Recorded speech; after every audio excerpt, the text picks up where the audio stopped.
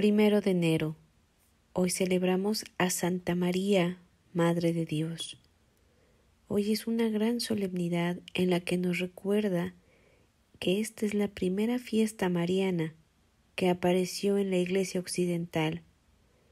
Su celebración se comenzó a dar en Roma hacia el siglo VI, probablemente con la dedicación, el primero de enero, del Templo de Santa María Antigua, en el Foro Romano, una de las primeras iglesias marianas de Roma.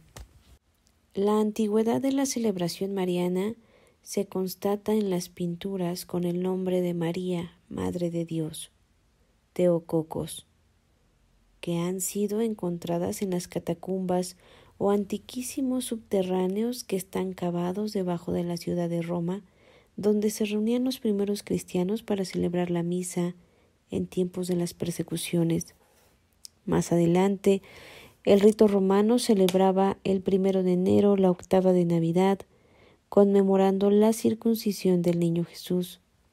Tras desaparecer la antigua fiesta mariana en el año 1931, el Papa Pío XI, con ocasión del quince centenario del concilio de Éfeso, instituyó la fiesta mariana para el 11 de octubre en recuerdo de este concilio en el que se proclamó solemnemente a Santa María como verdadera Madre de Cristo, que es verdadero Hijo de Dios, pero es la última reforma del calendario, luego del Concilio Vaticano II, se trasladó la fiesta al primero de enero, con la máxima categoría litúrgica de solemnidad y con título de Santa María, Madre de Dios. De esta manera, esta fiesta mariana encuentra un marco litúrgico más adecuado en el tiempo de la Navidad del Señor, y al mismo tiempo todos los católicos empezamos el año pidiendo la protección de la Santísima Virgen María. He aquí la sierva del Señor, hágase en mí según tu palabra. Es desde este fiat, hágase que Santa María respondió firme y amorosamente al plan de Dios. Gracias a su entrega generosa, Dios mismo se pudo encarnar para traernos la reconciliación que nos libra de las heridas del pecado.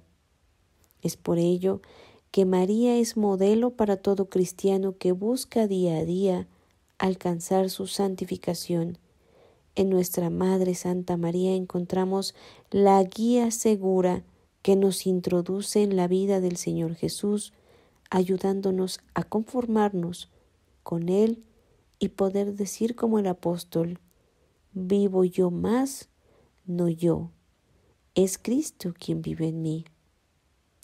Hoy recordemos en esta fecha especial a Santa María, Madre de la Iglesia, y nos encomendamos todos los que conformamos esta Santa Iglesia católica y apostólica.